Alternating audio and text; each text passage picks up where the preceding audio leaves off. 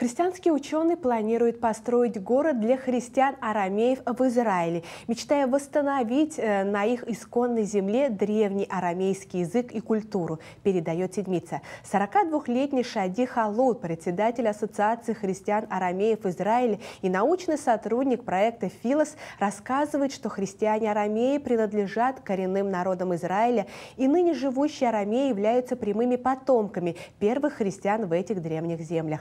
Еще свои студенческие дни Халул осознал, что главная цель и призвание его жизни – сохранить культуру и язык своего народа, как коренного древнего народа Израиля.